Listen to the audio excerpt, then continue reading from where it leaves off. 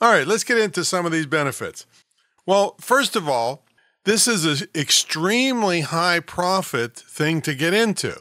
97% gross profit, maybe uh, you know percentage for credit card fees.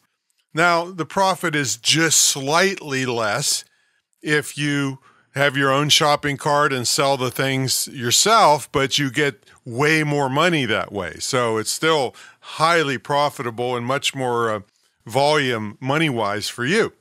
If you choose to sell through other means, through affiliates, or let's, well, even with affiliates, you have to have a shopping cart. So I meant to say through Amazon, places like Amazon Kindle.